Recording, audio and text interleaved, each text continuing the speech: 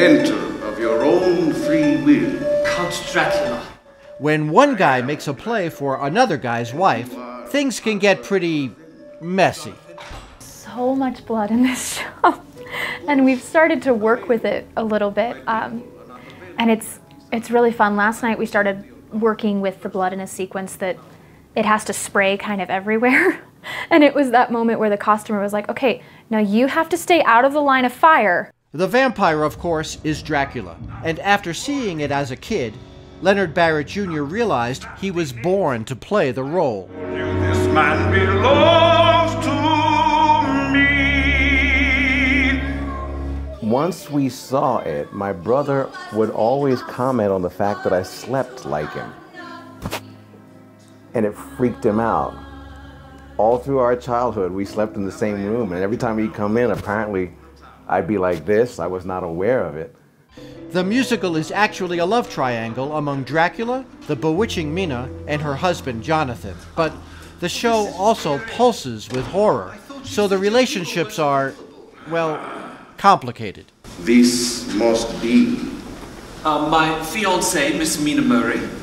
Uh, there are scenes when Mina is terrified of Dracula and terrified of his power and terrified of her own feelings for him. And in those moments, it's really easy to see him as the monster. So you've got kind of a good and evil concept going there, uh, and both of them have slices of the other. There is um, almost a two year old aspect to Dracula.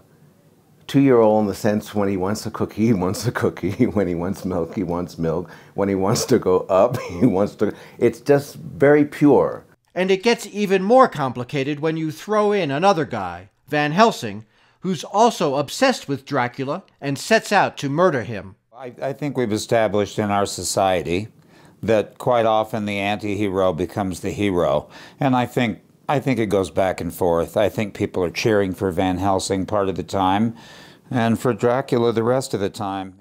You'll do my bidding. You will taste the terror in the street. It's a frightening show with a monster in blood playing leading roles. Well, as purely as an actor, it's a lot of fun. You get to get your hands dirty and really dig in. But it, it it's gruesome. But the blood is also a, a, a metaphor for life and for sexuality. It has to be present. You have to see the characters deal with it, and they all have different feelings about blood. Good and evil, love and obsessions, and lots of blood. It all plays out in an eerie yet musical way in Dracula, now through November 7th. For tickets, go to aurorafoxartscenter.org or call 303 739 1970. This is Rob Bogan for BroadwayWorld.com.